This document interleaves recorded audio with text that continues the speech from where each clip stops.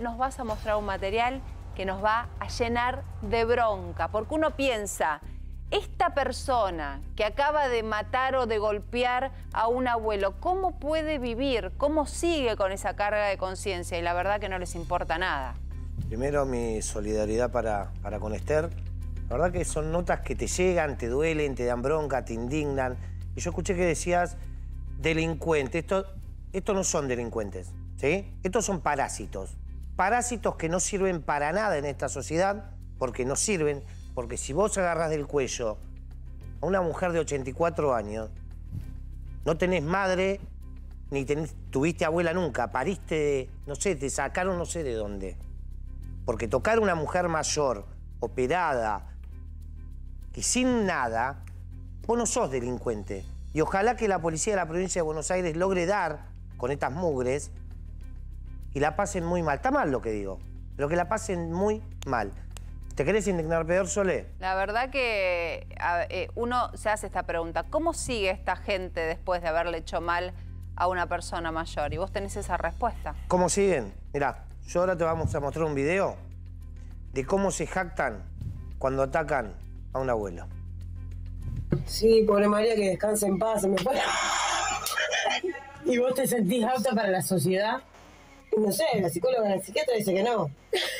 Pero bueno. Para mí, no. Ella es la psicóloga. ¿Usted qué dice? Para mí no está para nada. Me quiere dejar cara, pero si doña María ya estaba vieja, ¿cuánto quiere que viva? ya tenía, no, no, no, ya tenía, no. Ya tenía una puerta de cajón, doña María. Señora, me quiere dar perpetua. no, soy una hija de puta, no Perdón a la familia de doña María, yo no le quise el cañazo que le di en la nuca. Perdón. Pasa que doña María no me quería dar la cartera. Y la verdad que sí, que sos una hija de puta, lo que te dijo tu compañera. Y da bronca y da indignación y cada risa uno piensa en la cantidad de abuelos desfigurados que tuvimos que ver, abuelos desfigurados que tuvimos que ver. Que aparte, esta mujer, que evidentemente está condenada, está haciendo videitos de TikTok desde la cárcel porque obviamente los derechos de los delincuentes démosle un celular.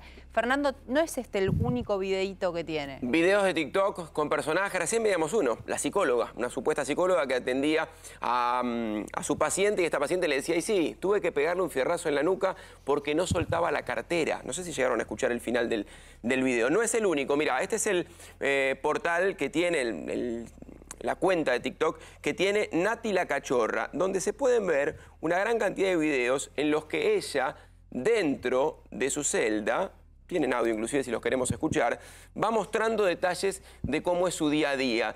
Pero además de mostrar detalles solo de cómo es su día a día, en determinados videos... Mira, acá está en el spa. Ah, mira. Sí. Ella está haciendo una mascarilla, tintura, Ah, y bueno, y después tengo que pedir tres o cuatro maquinitas porque tengo que arrancar con el cuerpo. Se cagan de risa de todos nosotros. ¿eh? Sí. Es ah, espectacular. un saludito para User, Mira, respondiendo. 9812345575.